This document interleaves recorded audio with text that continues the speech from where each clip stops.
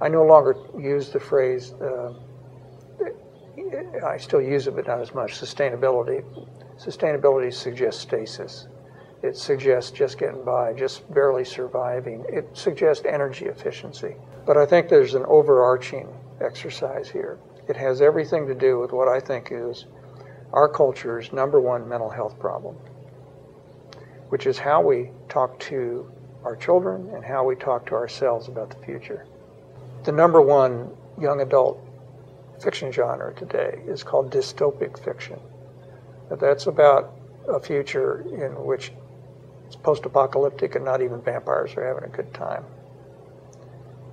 If this is the dominating set of images of the future that we're accepting passively and that are shaping how we get up in the morning, what we think about in terms of what the future will be, what career could I have, then we're in trouble. There's a even more than we know. This is a greater is- issue, I think, than climate change. Because we can't do much about climate change, can't do much about the biodiversity collapse unless we do something about how we talk to our children about the future and ourselves.